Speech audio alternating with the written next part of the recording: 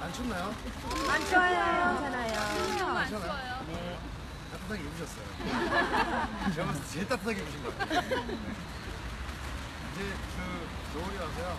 이제 날씨가 추워지니까 출근길을 조금 줄일 거예요. 그래서 여러분들 건강 걱정 때문에 기다리지 마시고 감기가 있기 때문에 퇴근길은 제가 조금 할 거거든요.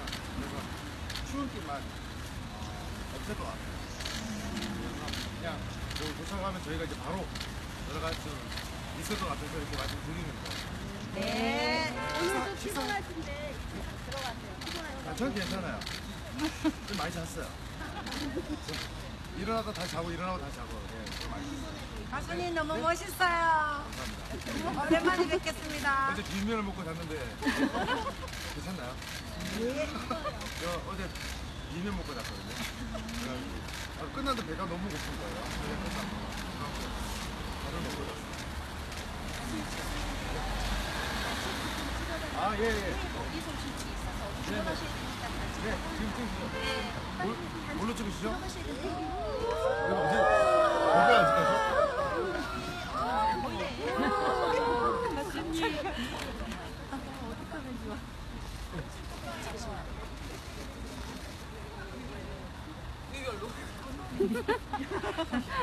부위별로.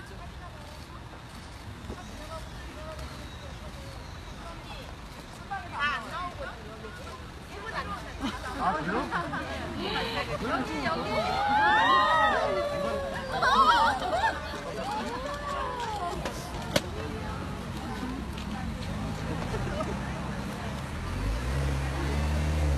가수님 어디 있어? 이쪽에.